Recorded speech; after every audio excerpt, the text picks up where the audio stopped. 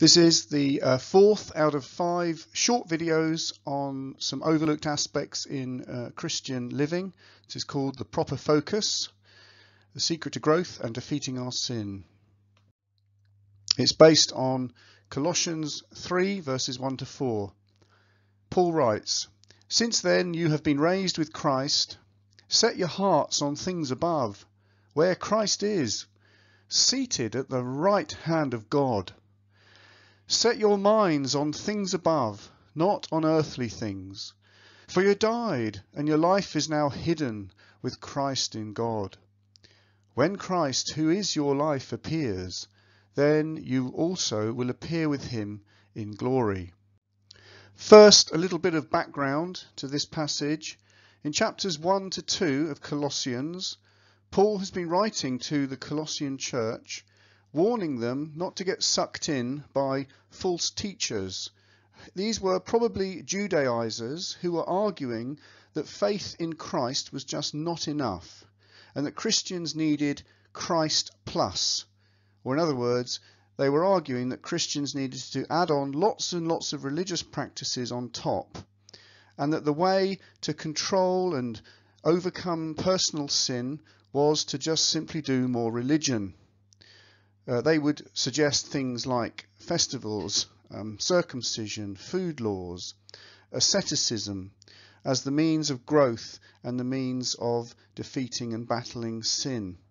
But Paul writes at the end of chapter 2, verse 23, that religious practices by themselves cannot restrain personal sin nor lead to growth. And then after these verses, on the screen in front of you. there also uh, comes verses 5 onwards, which again pick up the theme about putting sinful practices to death. So really this passage is about how to grow as a Christian and how to defeat and overcome personal uh, sins. And the people to whom Paul was writing were feeling a bit wobbly they were wondering, is faith in Christ enough? Is a focus upon Jesus all that I need?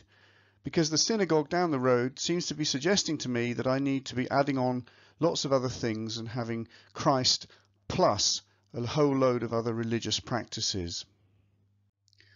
Paul tells them in verse 1, he says, Set your hearts on things above.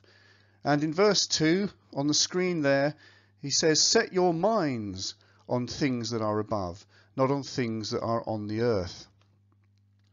Now, the word things is actually, he's actually talking about focusing on Christ himself, not really on heaven, th heavenly things as such.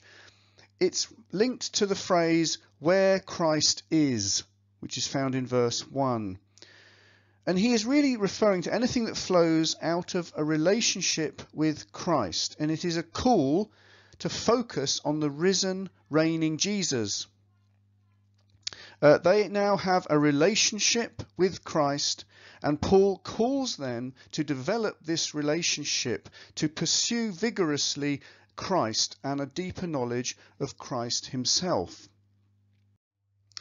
As they focus on Christ, Christians will see what Christ has achieved for them in the past. It says that you died. And also in verse 1, he says, You have been raised with Christ. Uh, that means they have been joined spiritually with Christ's death and resurrection. What Christ underwent in the past, they also underwent. And as they focus on Christ, Christians will also see where God has put them now in the present. He says in this verse uh, that your life is now, that's now, hidden with Christ in God. And if they are hidden uh, with the seated Christ, that is surely where their focus must now be. Where Christ is now in the present, they are now in the present.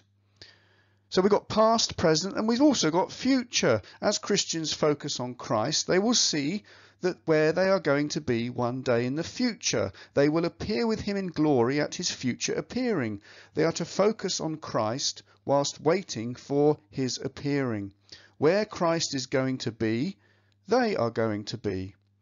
So Christians who have been hidden with Christ must seek Christ above whilst waiting for his appearing. It's a bit like the three-legged uh, sports race. For those of you who used to do sports day at school, you may have done a three-legged sports race where you, you had one leg tied to the leg of another person uh, who ran with you. And you were basically where they went, you went. Uh, where one partner goes, the other inevitably goes. And this is a bit like uh, Christ. You see, Christ died and we died with him. Christ rose and we rose with him.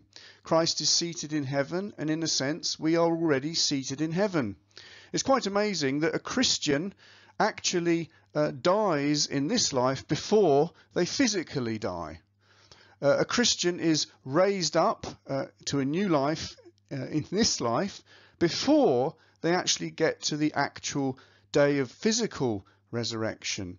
And in another sense, Christians are already in heaven, although still on this earth, before they actually get to the uh, complete fulfillment of heaven. So where Christ went, uh, we have gone uh, spiritually, and we are therefore to focus on the one to whom we are tied and united. Paul's aim in writing Colossians 3 verses 1 to 4, his pastoral aim was so that they would focus on the seated, victorious Christ as the only way to grow as Christians and to fight sin. As I said earlier, the Jewish false teachers were telling them you need to do lots of religious practices, you need to uh, follow various laws and various things if you want to battle sin and if you want to grow. Whereas Paul is saying, no, what you need to do is to focus on the seated, victorious Christ, as this is the only way to grow uh, as a Christian and to defeat sin. Now, uh, it's very key that it talks about Christ uh, being seated. You see, being seated at the right hand of God, uh, as it says there. Seated uh, at the right hand of God is a place of honour it is also a place of great power. So Christ has the power to help us uh, in our battle against sin and in our growth. And also, it reminds us of when Jesus sat down after completing the work of paying for our sins. Uh, like the high priest who offered up himself, he finally sat down as a sign of absolute completion uh, through Jesus. So we are called to focus and develop and pursue a relationship with Jesus uh, as the secret to power in overcoming sin and in the means to grow as saints. So the question is, how do we practically uh, focus our hearts and minds on Christ? Uh, well, I learned that um, trying to beat certain sins in my own life was impossible uh, in my own strength by trying harder, uh, by a severe regime.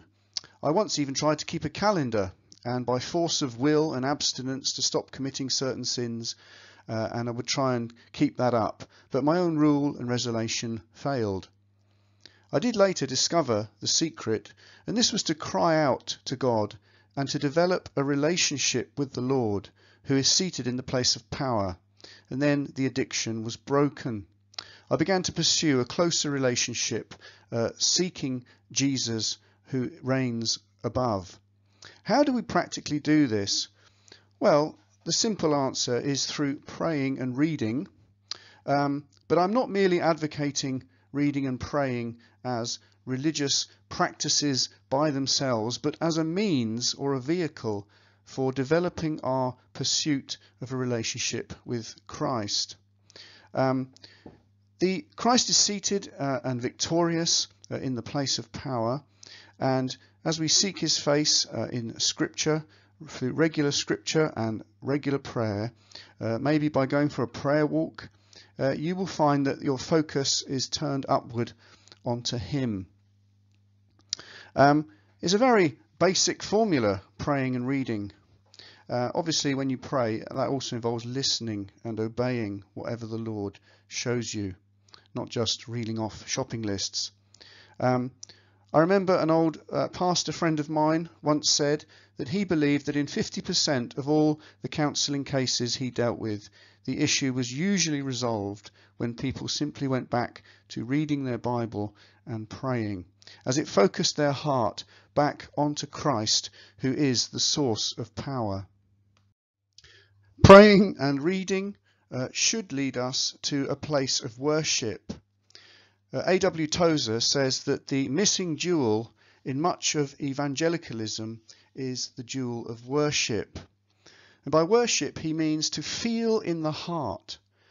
And he says that a person that merely goes through the form but does not feel anything is not worshipping.